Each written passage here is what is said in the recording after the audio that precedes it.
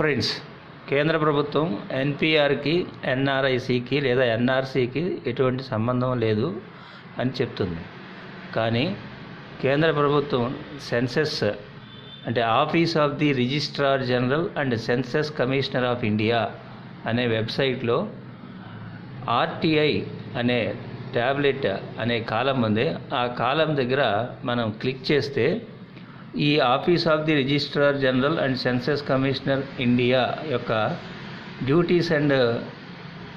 Functions ఏంటనేది RTI కింద చెప్పారు ఈ ఆర్టీఐ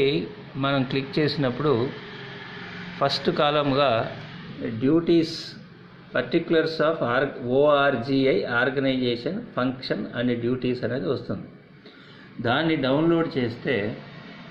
చూడండి డౌన్లోడ్ చేస్తున్నాను దాన్ని డౌన్లోడ్ చేస్తే దాని యొక్క డీటెయిల్స్ వస్తాయి ఆ డీటెయిల్స్ మనం ఓపెన్ చేసినప్పుడు ఈ సంస్థ యొక్క లక్ష్యాలు ఏంటో చెప్పారు దీంట్లో second second Roman second aspect మనం చూసినప్పుడు ఏం చెప్తుందో చూడండి duty of the office of registrar and National Register of Indian Citizens and issue of national identity cards. The RGI discharges the statutory function of Registrar General of Citizen Registration under the Citizenship Act 2003. The National Population Register, which is the first step towards the creation of the National Register of Indian Citizens. Is being created under the provisions of the mentioned statute so clearly ఈ website ఏమి admit చేస్తుంది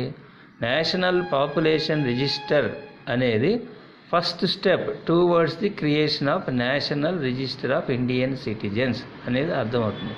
కాబట్టి ఈ రెండింటికి సంబంధం లేదు అని ఏదైతే కేంద్ర ప్రభుత్వం చెప్తుందో అది అబద్ధమని వారి అఫీషియల్ వెబ్సైటు స్పష్టంగా చెప్తుంది ఈ విషయాన్ని మనం గమనించాలని కోరుతున్నాం